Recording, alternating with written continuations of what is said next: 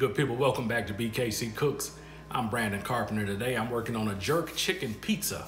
I'm making that on my Char Griller Gravity 980 grill. So, why make pizza? Um, I moved here to the Austin area about three, three and a half years ago. And I was not able to find any pizza that I liked. Now, for y'all get on my case, um, I'm not bashing any pizza joints. Um, pizza is a very regional thing. Um, you like the pizza that you grew up with, um, and I'm from the Chicagoland area, and just so you know, we don't eat deep dish. That's a very rare thing. That's for tourists. Um, in my area, we grew up on thin crust, tavern style pizza, and um, I haven't been able to find that here. I found one or two good pizzas that I would, you know, drive for here in the Austin area, but overall, it's just not for me. So I can't keep making trips back and forth to uh, Chicago every time I want good pizza, so I have to start making it here. So I've done some experimenting, I've made a bunch of pizzas, and I'm gonna show you how I do it. Uh, again, I am using my Char Griller Gravity 980, and I'm using a pizza stone, and it works phenomenally as a pizza oven. The temperatures are very consistent. The stone does a great job of crisping up that crust. And um, I wanted to do something different, and so I had some uh, chicken that I needed to cook. I'm like, okay, chicken on the pizza. And you know, barbecue pizza is cool, but jerk chicken, jerk chicken is so much better. Again, if you like it spicy, this is the pizza for you. So we're gonna go through all the steps like we always do. So let's get all this stuff together. We're gonna start with the dough because you gotta do your dough first. Let's get everything together and make it happen. Let's go. All right, so let's get started on the dough. You know, the crust is the base. And without a good base, like in anything else, it's gonna collapse. So uh, what I'm doing is pretty simple. I'm starting off with one pack of yeast. Got uh, two cups of high gluten flour. So when I say high gluten, uh, you want this to be at least 11% gluten. 11 to 13 is about what I like. Uh, that's gonna give you a really nice chew and it'll crisp up really nicely. Also got a quarter cup of good olive oil. Have a tablespoon of just plain old sugar. A teaspoon of salt. Uh, and two thirds of a cup of warm water. So you want this around 100 degrees. You can get this right out of the tap. You don't want it hot because hot will kill your yeast. You just want it warm so that the yeast will bloom. And um, I'm gonna do something a little crazy here. Uh, I'm actually gonna be making my dough in my food processor. Uh, and there's a story behind this. The reason I started doing this was because when I made my move from Indiana to Texas, somehow or another my dough hook for my stand mixer disappeared. I have no idea where it is. And uh, I just never took the time to search out and, and find a replacement. Uh, but again, not being able to find a pizza that I would go out of my way for here, uh, I really started craving pizza in a really bad way. And so I uh, decided to give my food processor a chance because it has a, a, dough blade attachment, whatever you want to call it. And it has a dough button on there. And so it's programmed to uh, operate at the correct speed and whatever other logic it uses. So we're gonna get this going in our food processor. So we're gonna start off blooming the yeast. Uh, we're gonna get warm water in the bowl with yeast and the sugar. We're gonna give that a little stir and let it do its thing. So let's get going on that. Okay, so I already have my package of uh, the instant dry yeast in the bowl. I'm gonna add a tablespoon of just plain white sugar. This will feed the yeast, give it something to eat as it's waking up. I have two thirds of a cup of, again, this is warm water, not hot. You read the uh, instructions on the yeast package, it'll give you a better idea of temperature that your water should be at. So I'm gonna let this sit for minimum of five minutes. Um, you should be able to see this stuff reacting. You'll see movement, you'll see bubbling, you'll see just a, a huge change in appearance. If you don't, just stop. Uh, toss it and start over. Sometimes you do get dead yeast. Um, this instance, it's already, already smelling really good and yeasty and I'm, I'm pretty confident this is gonna bloom just fine. But in the case you come back five minutes later and nothing's changed, nothing's moving, you don't see a dramatic difference, just toss it and start over. Okay, so it's been about eight minutes. As you can see, this is completely different than what we started. It's nice and foamy. It's doubled or tripled in volume. My yeast is doing well, so now we'll get everything else in. So I'm gonna go in with my quarter cup of oil.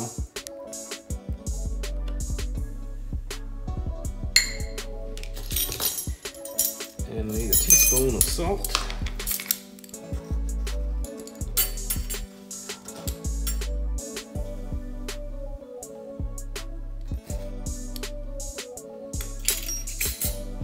And the last thing we'll add is our flour. I'm gonna show you how I measure the flour though.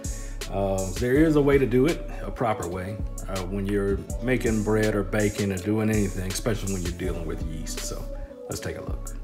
Okay, so when you're measuring this out, you don't wanna just uh, scoop your measuring cup into the flour because that will compact it. So what I do is I get a spoon or if you have a scoop or something like that, you wanna scoop this in and you do your best not to compact it or smash it at all. And I, I go over what I need.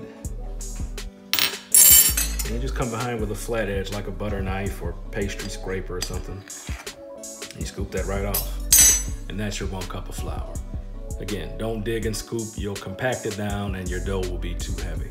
Okay, so before we add the flour, we're gonna get our dough blade in there.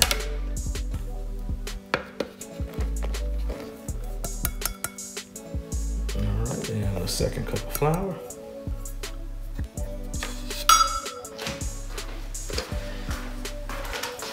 Get our lid on. Power on. Got that locked down. And here comes the easy part. All right, our dough is all kneaded up. Let's take a look here. So this is what we're looking at. You can see it is holding on.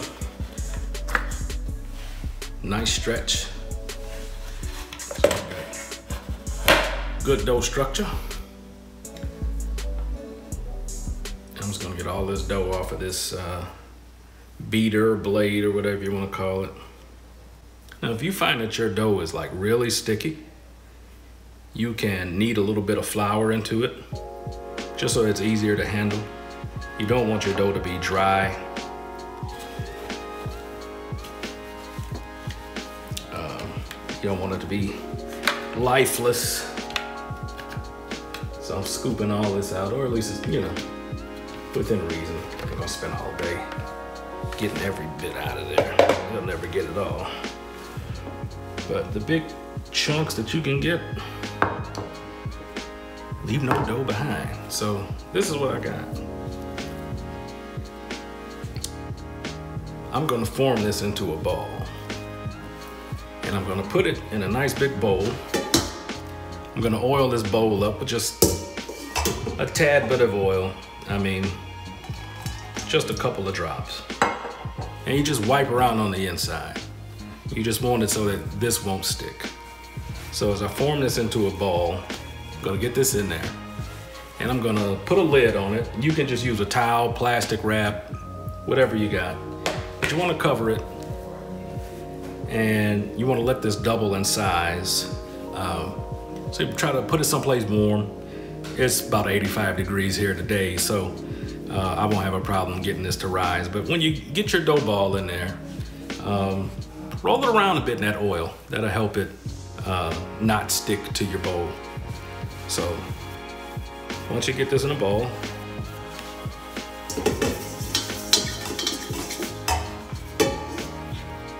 again, just get that oil mixed around in there. Dough ball. I'm just gonna roll it around a bit.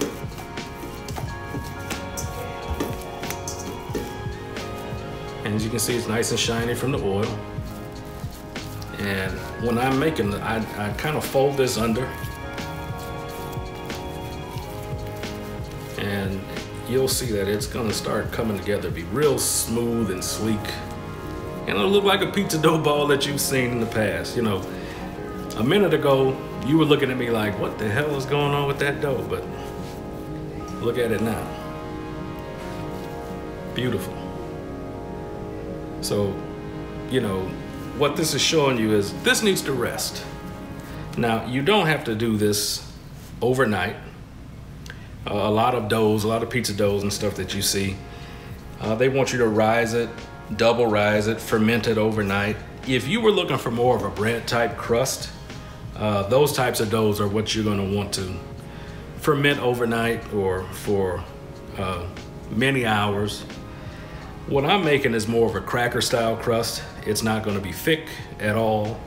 It's not gonna be chewy. This is gonna be crispy uh, with just a bit of chew. So we don't have to uh, ferment this or uh, give it that long of a rise. Basically, once it doubles in size, I'm gonna punch it down, roll it back into another ball.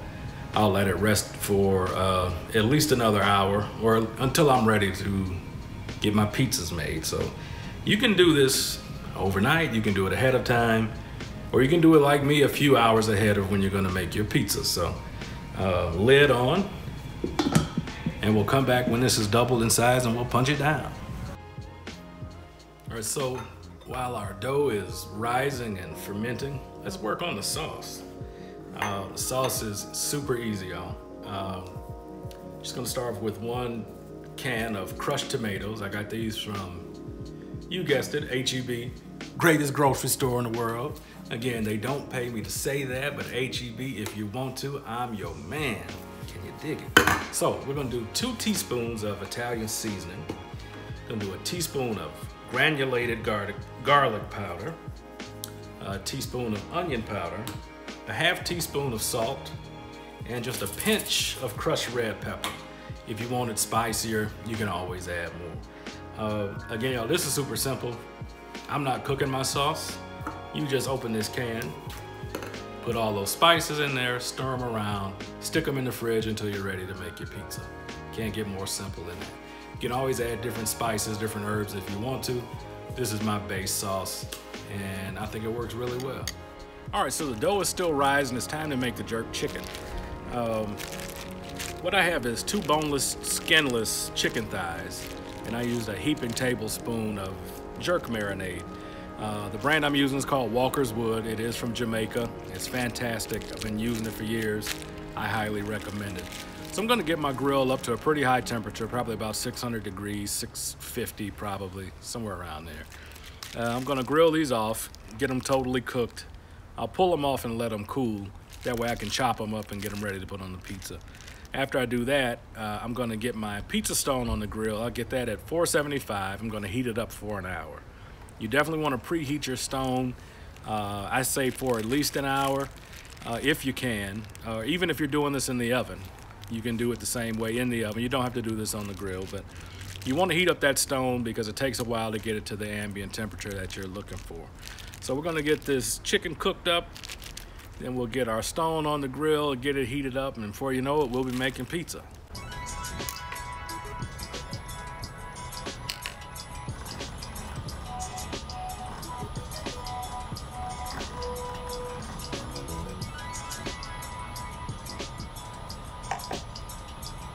All right, so I got my grill up to temp. I just put my chicken on there.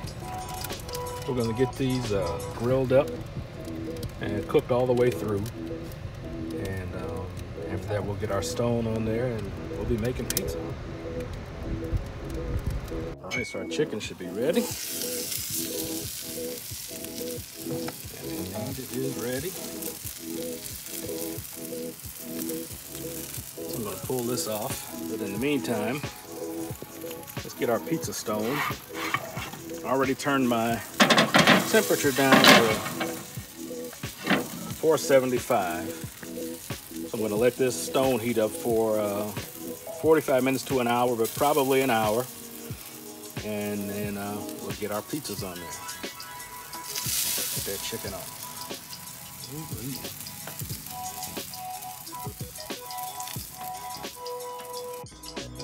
All right, let's take a look at this dough. as you can see, it has more than doubled in size. Yeast is doing its thing. We're gonna do what they call punching it down. Basically, we're just popping a big bubble. As you can see, it's quickly deflating.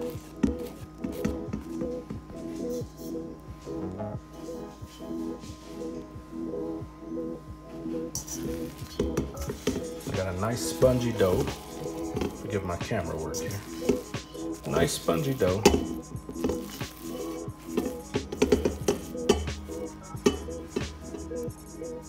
So what I'm gonna do is put this back into a ball like we originally did. I'm gonna let it rest.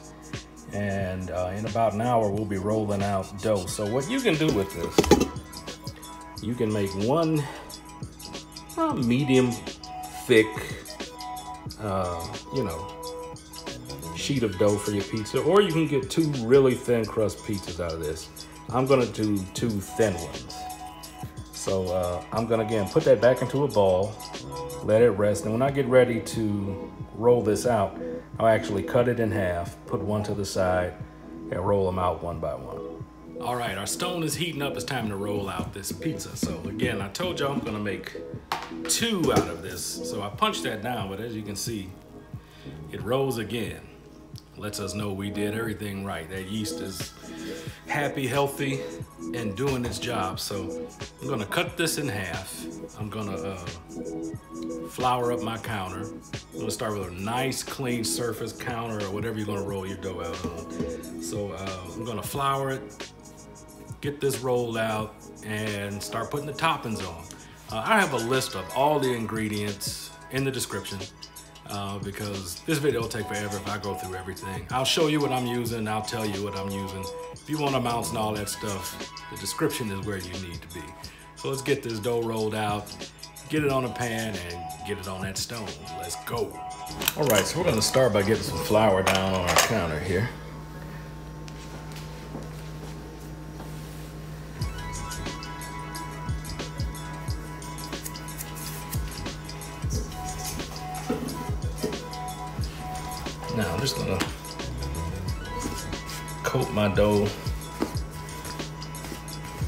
It's easy to work with and not too sticky.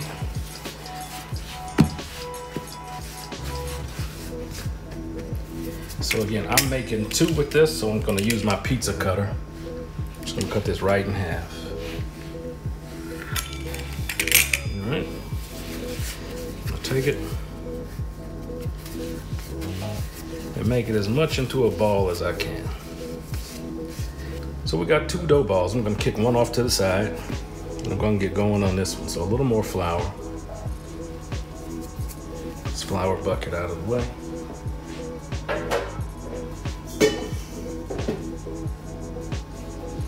A little flour on my pan.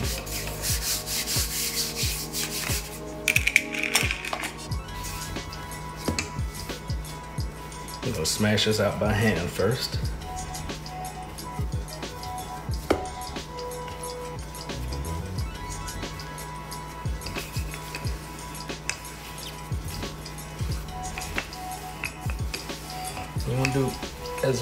You can to keep a round shape. This takes some practice.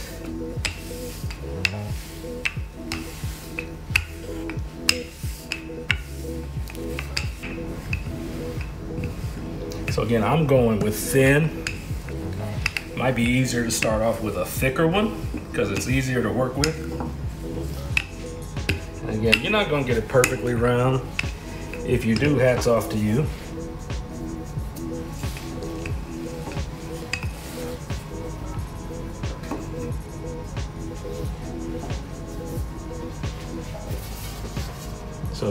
Got a 16 inch pizza pan here. As you can see, it's a little bigger and that's actually perfect because when I start maneuvering this dough onto the pan, that dough is gonna tend to wanna shrink up a bit. So you wanna get it a little bigger than what your pan is so that by the time you're done maneuvering and manipulating, it won't be too small. So when it comes to the pan, I'm gonna put just a little bit of cornmeal. And cornmeal is gonna help it slide on and off because I don't have a pizza peel, believe it or not. Now I have a brother, an older brother. He's a pretty good pizza maker. He's really fancy. So he has a pizza peel and pizza oven and everything. He's rich and successful though, but that's a, a whole other story. So again, a little bit of cornmeal. This just acts like little mini, little mini ball bearings. And this will help it slide off. Not gonna do much for taste or texture or anything. Again, it's just to help us get the dough on and off. So we'll clear up our area here.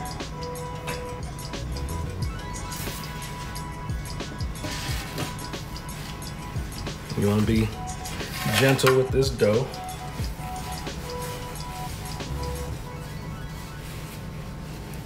Get it spread out. All right, we've got our dough spread out. Now it's time to put this thing together. So I've got a nice ladle of sauce here. Spread this all the way out to the edge. I want to try to get it out of the middle as much as possible.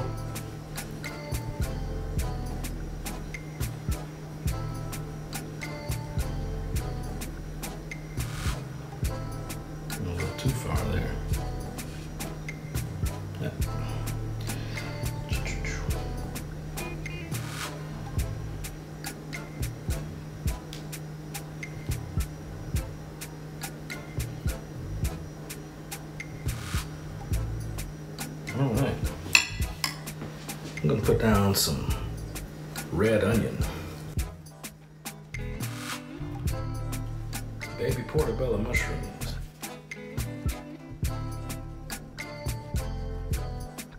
And finally our beautiful jerk chicken. I gave this a taste and man is it good.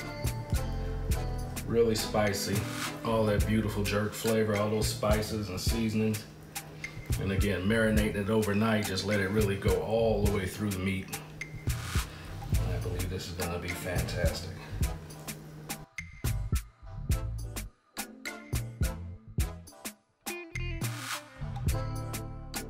I've got shredded mozzarella here.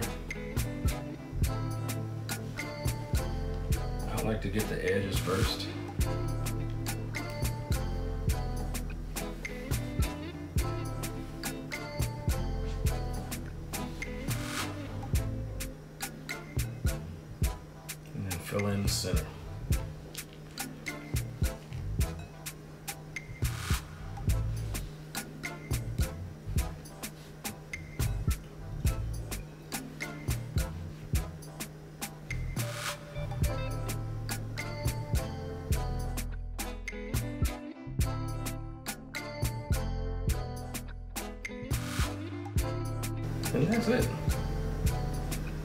Get it on the stone.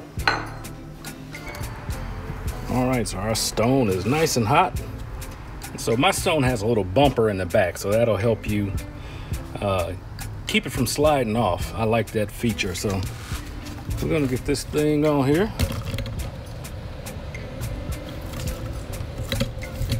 Try to. The camera's giving me trouble, but it won't stop us.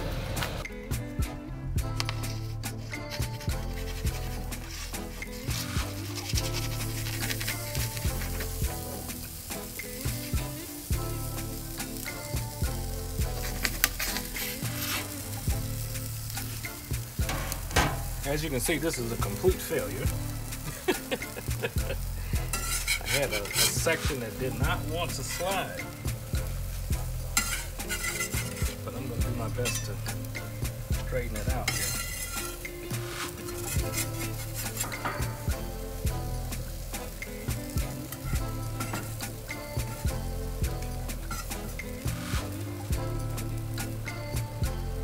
Okay, well.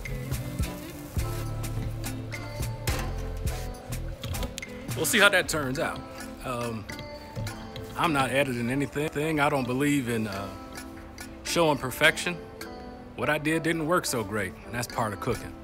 but I think we're gonna be able to salvage it and still have a fantastic pizza. So uh, we'll check on this in about eh, five minutes, see what it looks like.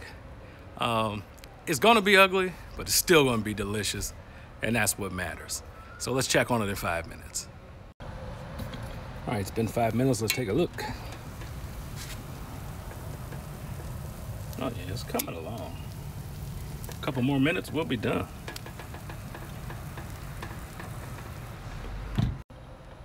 All right, let's give it a look. I think it's about done. Oh yeah, we're ready. We are ready. Yeah, not the prettiest, and that's all my fault, but um, this is gonna be delicious. Let's get it off of here and get it cut up.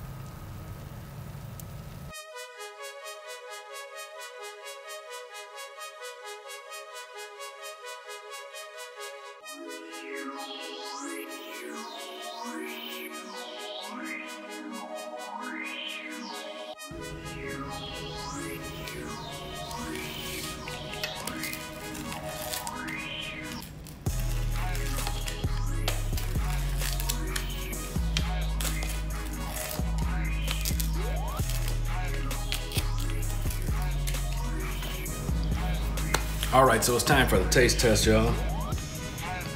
Wasn't my best effort getting that pizza on that stone, but uh, it cooked up perfectly. I put some scallions on there because you know scallions and jerk go hand in hand. And uh, we're gonna give her a try and see what she does. Oh, feel hot.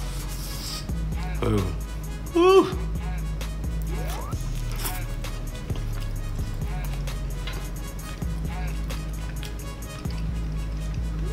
Mm-hmm. And, wow, that's good. Man, man, man. I don't really know what to say, man. That jerk flavor is coming through. Those scallions are fresh and crisp and bright, and those onions on there. The mushrooms are great. Good cheese pull crispy crust.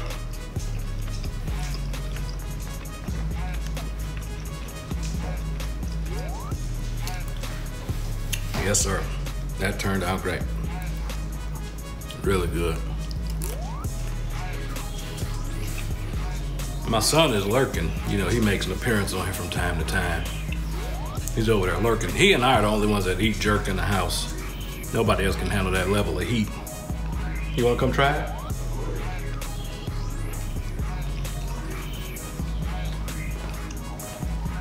Got to give an honest reaction on camera. You got to be quick.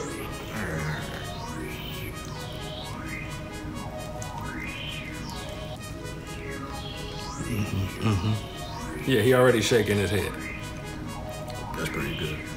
You like that jerk on there? Of course.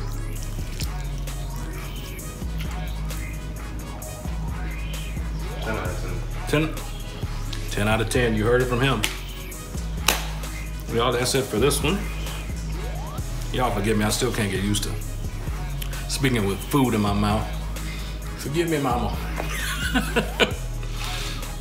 well, we thank y'all for watching. If you like this video, hit that thumbs up. And as always, help me out. Leave your questions, your comments, smash that bell, smash that subscribe button. That way when new content comes out, you'll be the first to know. So again, we thank y'all for watching and we wish good eating to y'all. Take care and enjoy some jerk chicken pizza.